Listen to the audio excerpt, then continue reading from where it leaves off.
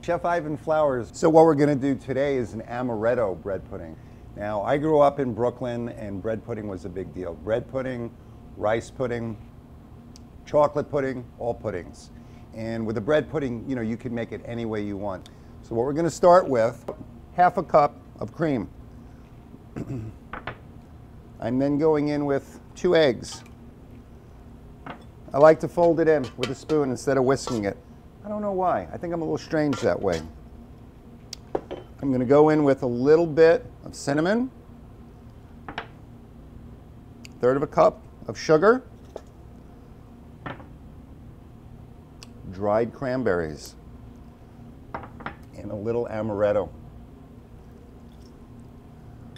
So we make a nice mixture. The sugar dissolves quickly. Egg yolks are nice and rich because, you know, it's just going to coat that beautiful bread. I am using some nice brioche, about a cup and a half.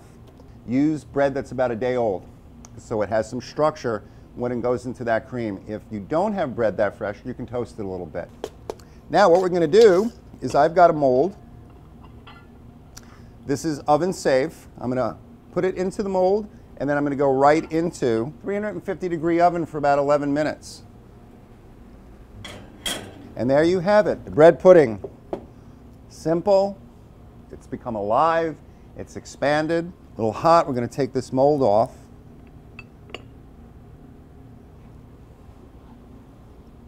Nice bread pudding. Now, we want to we want to finish this I'm going to do a little sour cream or creme fraiche with rum. That's simple. So I have a full fat sour cream. I'll go on top with a nice dollop. And then I'm going to finish with a little caramel sauce. Just a little bit. Just for a little contrast.